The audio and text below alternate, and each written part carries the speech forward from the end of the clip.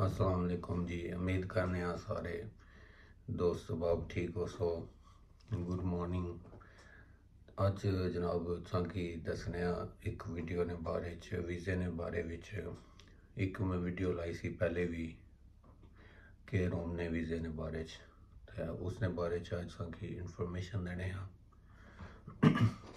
इत्थे इन्फॉर्मेशन तुसेंगी ये देने पाकिस्तान तो इंडिया तो और भी किसी कंट्री तो जो बंदा वीडियो देख रहा है तुम England work permit visa apply करने हो के रूम ने वीज़ा हो गया तो इसने बारे विच संगी दसने कि इत्थे आ गए संगी क्या मुश्किल जड़ियाँ फेस करनिया पैसा उस तो अलावा इत्थे ना जो कम नसाब है वह भी संगी दसने शेयर करने क्योंकि ये गल्लां तुसेंगी याद रहसन ते मिलने आं तुसेंगी इस वीडियो च तुसेंगी इन्फॉर्मेशन सारी देसां तुसां एह् चीज़ां जेह्ड़ियाँ नोट करनियाँ न इंशाल्लाह एह् तुसें कम्म आवसन वीडियो देखने तुसां भी लगे वीडियो स्किप ना करया करो वीडियो पूरी देखा करो ठीक है दूसरा नंबर जो नया बंदा वीडियो देख रहा है चैनल सब्सक्राइब करो वीडियो लाइक करो और कमेंट भी करो अच्छे से। अगर आपको कोई इन्फॉर्मेशन मिलती है तो उसको आप जो है ना हौसला अफजाई करनी चाहिए। आप जो है कमेंट वगैरह में बताया करें। अगर आपको कोई प्रॉब्लम होती है वीज़े में या कोई भी किसी इस तरह के काम में स्टॉक हो या कोई और इन्फॉर्मेशन लेनी है वीज़े के बारे में तो मैं आपको जो है फ्री में गाइड कर सकता हूँ।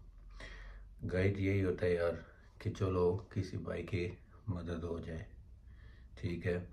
इसके अलावा मैं और कुछ भी नहीं करूँगा। तो आप जो भी आ रहा है, पाकिस्तान से या इंडिया से, जो आपने work permit care home visa जो है, वो अप्लाई करना है। ठीक है? तो जो मेल है जो बंदा आ रहा है, वो फैमिली के साथ आए तो सबसे बेस्ट है वो। अगर अकेला बंदा आ रहा है तो उसमें पैसे भी ज़्यादा लगने हैं उसके। Too much money in needs to pay to come to the UK so आपने करना क्या है कि आप, पहले खुद आओ, अगर मेल है तो। खुद आके यहाँ पे आप अपना काम वगैरह पे जो है वो ढूंढो, जो आपको मिला हुआ है कंपनी के थ्रू है या जो भी है, वो आप कर रहे हो। उसके अलावा आपने मकान जो है वो लेना है। यहाँ पे मकान लेने के बाद और भी बहुत सारी चीज़ें हैं जिनकी ज़रूरत होती है। वो आप सारी जो है वो पूरी करो सबसे पहले। उसके बाद आप अपना पार्टनर वाइफ जो है वो बुला सकते हो। वो आपके लिए बहुत ज़्यादा फ़ायदेमंद होगा। अगर आप अकेले आ रहे हो आ, मतलब फैमिली के साथ आ चुके हो फ़र्स्ट टाइम में तो आपके लिए वो प्रॉब्लम हो सकती है। काम की भी जगह ढूँढने की भी मकान वगैरह जो है यहाँ पे थोड़ा डिफरेंट है। जो बंदा आता है उसी को फिर पता चलता है फेस करता है वो सारा जो भी काम होते हैं। तो इसलिए कोशिश किया करो जो भी भाई आ रहा है, वो पहले खुद आओ, उसके बाद आप अपना पार्टनर बुलाओ। इसमें आपके लिए बहुत वेल एंड गुड होगा। तो इसके अलावा भी मैं आपको बता रहा हूँ, इसी वीडियो में इंफॉर्मेशन देने जा रहा हूँ। और ये भी है कि आप जो आप आ रहे हो वर्क परमिट के रूम का वीज़ा जो है, आप उस पर आए हो। तो ये बेहतर होता है कि आप जो है, पहले ही बात हो कंफर्म करके आओ कि आपने जिस कंपनी में केयर उनका वीज़ा है, आपने वहाँ पे काम करना है। तो कोशिश ये करो कि उसके आसपास कहीं आपको रिहाइश मिले, जगह रहने के लिए मिले। तो ये आपने पहले सेलेक्ट करना है ऑप्शन बाद में नहीं करना। कि आने जाने के लिए आपको प्रॉब्लम ना हो, नज़दीक हो। यहाँ पे ये चीज़ें जो हैं, ये बहुत ज़्यादा देखी जाती हैं कि बंदा यहाँ पे काम कर रहा है तो आएगा वो लंदन से या बर्मिंगम से तो ये अफोर्डेबल नहीं है। बहुत ज़्यादा जो है उसको एक्सपेंसिव पड़ेगा तो इस तरह काम नहीं है। दूसरी बात ये है कि अगर आप के रूम में आए हैं के रूम के थ्रू वीज़ा जो है आपके पास तो आपने ये भी सिलेक्ट करना है, पूछना है कि आपने वीक में कितने दिन काम करना है। आपको पता होना चाहिए। दूसरी बात सॉरी तीसरी बात ये है कि आपने कितने आवर काम करना है उस कंपनी में। ये चीज़ें जो हैं, ये आपको पता होनी चाहिए। इतनी ज़्यादा डीप बातें जो है वो बहुत कम लोग हैं जो ऐसे इंफॉर्मेशन देते हैं। ठीक है, ये सोलिसिटर वगैरह हो गई या वकील वगैरह, ये इनका राइट है, ये जो है, आपको सारी इन्फॉर्मेशन देते हैं चार्जेस वगैरह, ये सब कुछ। तो उनका हक है कि वो इस तरह की इन्फॉर्मेशन देते हैं आपको। लेकिन मैं आपको एज ए दोस्त के हवाले से बता रहा हूँ कि ये सारी इन्फॉर्मेशन जो है ना, आपको पता हो। अगर आप आ रहे हैं तो आने से पहले आप अपना रिहाइश का मतलब जो है कि आपने जहाँ पे रहना है वहाँ पे काम पास हो। दूसरा वीक में कितने दिन काम है? तीसरा वीक में कितने आवर्स जो है वो आपने काम करना है? ये नहीं है, पाकिस्तान वाला साहब के जी, आज एक दिन लगा लिया, कल छुट्टी कर ली है या दो दिन काम है, फिर छुट्टी है या आधा दिन काम है तो छुट्टी हो गई है, ऐसा वैसा नहीं है। यहाँ पे जो है, घंटे का हिसाब है, घंटा आपने काम करना है तो वो घंटा काउंट होगा। अगर आपने 20 मिनट करना है तो 20 मिनट काउंट होंगे। इस तरह नहीं है कि आपने आधा घंटा काम किया तो घंटा काउंट हो गया, नो, ऐसा नहीं होगा। आपने जो करना है वही अकाउंट होगा।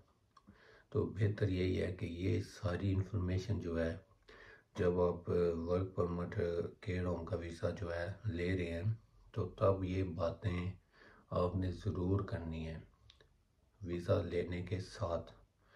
उसके बाद अगर आप लेंगे तो वो हो सकता है आपको रिहाइश जो है दूर दे दें थोड़ी तो उसमें प्रॉब्लम आपकी होगी, उनकी नहीं है। आपने जाना है फिर उसी हाल में, वो आप ही जाना है। तो अफोर्ड नहीं कर सकता बंदा, मैंने आपको बताया पहले भी इसी वीडियो में। तो उसके बाद भी जो एक दो और न्यूज़ हैं, वो भी उसमें ही हैं। जी तो एक और ये भी बात है कि आपने ये भी पता करवाना है इसी काम में के रूम का जो वीज़ा है आपके पास, ठीक है? जब आप अप्लाई कर रहे हो, आपको मिल रहा है तो आपने ये भी पूछना है काम का कि आपने हेल्थ सेंटर में काम करना है। या आपने डोर बाय डोर जाके काम करना है। तो अगर आप हेल्थ सेंटर में काम करेंगे, फिर तो आप जो है, ठीक है। आप वहाँ पे जाते हैं एवरी डे रूटीन है जो टाइम टेबल सब कुछ, वो आपको कंफर्म करते हैं। और अगर आपने डोर बाय डोर करना है तो फिर आपको गाड़ी भी चाहिए। आपने आने साथ जब आप इंटर हो रहे हैं, काम की बात हो चुकी है, आपकी बुक हुई है सारा कुछ तो आपने गाड़ी भी लेनी है पहले। गाड़ी के बगैर आप डोर बाय डोर जो है काम नहीं कर सकते। हो सकता है आपको डोर बाय डोर काम मिले, वो भी अच्छा है। काम बहुत अच्छा है, लेकिन उसमें आपको गाड़ी चाहिए। और जो भाई आ रहा है पाकिस्तान से, इंडिया से तो उनके पास लाइसेंस होना ज़रूरी है। इंटरनेशनल लाइसेंस उसकी जो लिमिट है एक्सपायरी लिमिट यहाँ पे एक साल है। आप पाकिस्तान के लाइसेंस पे यहाँ पे एक साल ड्राइव कर सकते हो। ठीक है? आप यूज़ टू हो काम पे जा रहे हो, साथ में आप अपनी जो है, यहाँ का लाइसेंस है, वो भी आप अप्लाई करो। उसके बाद पहले प्रोविजनल है प्रोविजनल के बाद दूसरा है। तो ये चीज़ें जो है ना, ये आपके लिए ज़रूरी है के रूम का वीज़ा जो है, ठीक है, आपको मिलता है इजी है या हार्ड है, लेकिन ये है कि इसमें जो आगे काम है ना, वो भी आपको पता होने चाहिए। अगर आपके पास लाइसेंस है तो दैट्स गुड अगर नहीं है तो आप कोशिश करो कि आप इंटरनेशनल लाइसेंस जो है वो अप्लाई करके ड्राइव पास करो और फिर जो है आप अपना वीज़ा लेके आओ। अगर आप नहीं लेके आ रहे ड्राइविंग लाइसेंस तो फिर आप डोर बाय डोर काम नहीं कर सकते तो वीज़े में भी प्रॉब्लम हो सकती है। क्योंकि उनकी मर्ज़ी है, वो आपको काम पे काम देंगे। अगर वो आपको काम दे रहे हैं डोर बाय डोर आपके पास लाइसेंस नहीं है तो आप कैसे जाओगे? गाड़ी ऊबर वगैरह ये करके तो ये तो आपको अफोर्ड ही नहीं होगा, ये तो बहुत ज़्यादा खर्चा हो जाएगा। इसलिए ये बातें जो है, ये नोट करनी है आपने। और वीडियो जो है, वो आप पूरी देखा करो। मैं आपको हर वीडियो में यही कहता हूँ कि कुछ ना कुछ इन्फॉर्मेशन है जो आपको मिलती है। तो अगर आप वीडियो पूरी देखेंगे तो आपका फ़ायदा होगा। वीडियो स्किप करने से आपको कुछ बातें ऐसी होती हैं जो समझ में नहीं आती। तो फिर आप सोचते हो, यार, इस बंदे ने ये बातें बोली हैं, समझ नहीं आई। ऐसा होता है। तो ये बातें जो है ना, ये आप वीडियो पूरी देखो आपको पता चलेगा कि रोम का वीज़ा वर्क परमिट है जो ये कैसे मिलता है और कौन से जो चीज़ें हैं इसमें वो करनी पड़ती हैं। और इसमें ये भी है कि आप आ तो रहे हो इस मुल्क में, आ गए हो यूके में तो आपने आते साथ ये भी करना है। नेशनल इंश्योरेंस नंबर है जो ये अप्लाई करना है, आते साथ ही। ज़्यादा टाइम वेस्ट नहीं करना। दूसरा वो है कि आपने बैंक अकाउंट जो है, वो लाजमी अप्लाई करना है। यहाँ पे बहुत सारे डिफरेंट बैंक हैं तो जो भी आपको अच्छा लगे आके तो वो आप जो है बैंक अकाउंट ओपन करवा लें। अगर आपके पास बैंक अकाउंट नहीं है तो आप वो काम कर रहे हैं तो आपके पास वो जो है तनख्वाह वो कैसे आएगी? वो बैंक कार्ड ज़रूरी है इस काम में। बैंक कार्ड होगा तो वो आपको पैसे जो है अकाउंट में ट्रांसफ़र कर दिए जाएँगे। ये चीज़ें जो हैं बेसिकली ये आपने ज़रूरी करनी है यहाँ पे। और ये भी बात है कि आप जो है, आए हैं तो आपने वीज़ा आपके नाम पे है, अगर मेल है बंदा तो आप काम कर रहे हैं। तो आप जो है, कुछ टाइम बाद अपना सिक्स मंथ कर लो। सिक्स मंथ के बाद आप अपनी फैमिली बुला रहे हैं वाइफ है, आपके बच्चे हैं तो आप जो है वो एक जगह पे काम करते हैं। एक जगह पे काम करते हैं तो आपकी जो सैलरी है वो टू थाउज़ेंड पाउंड है, ठीक है?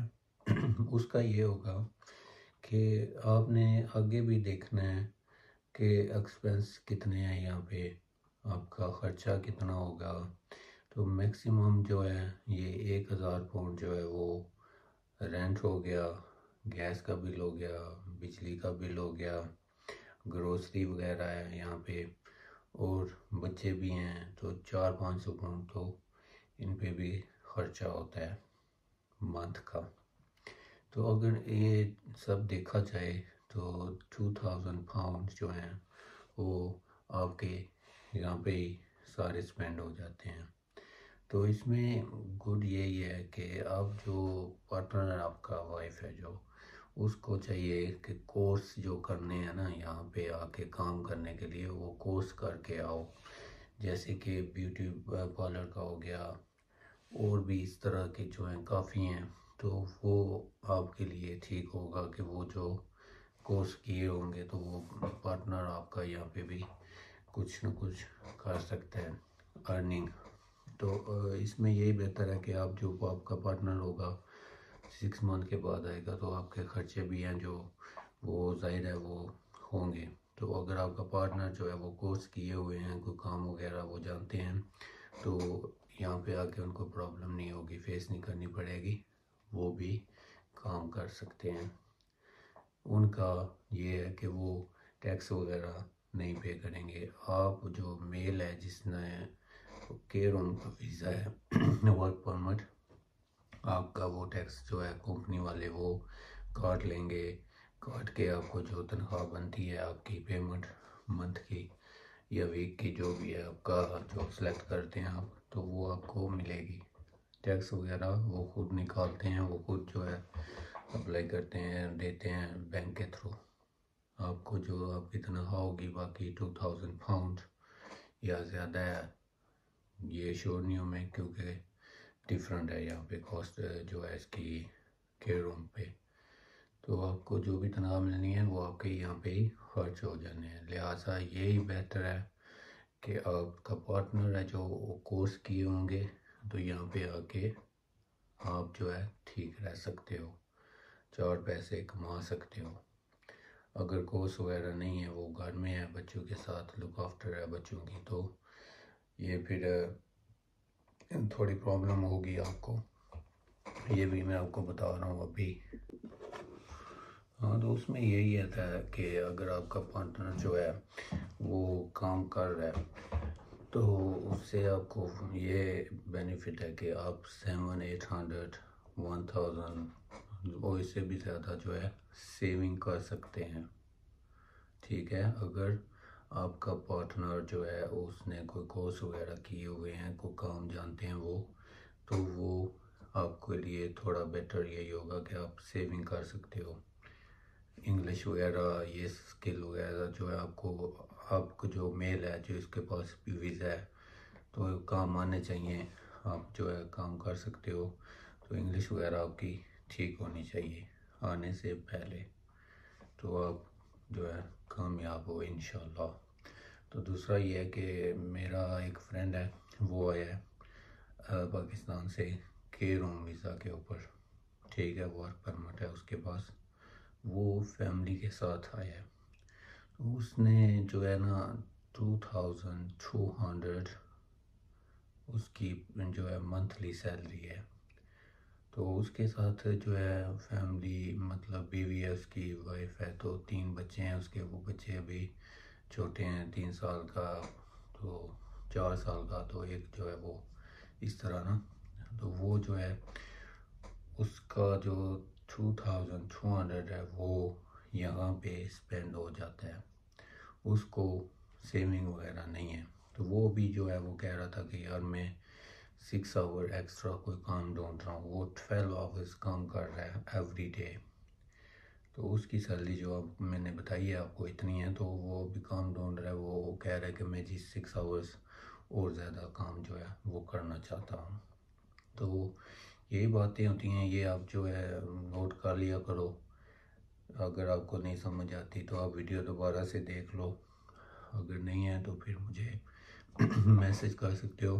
मैं आपको जवाब दूँगा सून एज पॉसिबल क्योंकि मैं काम भी करता हूँ बिल्डर का।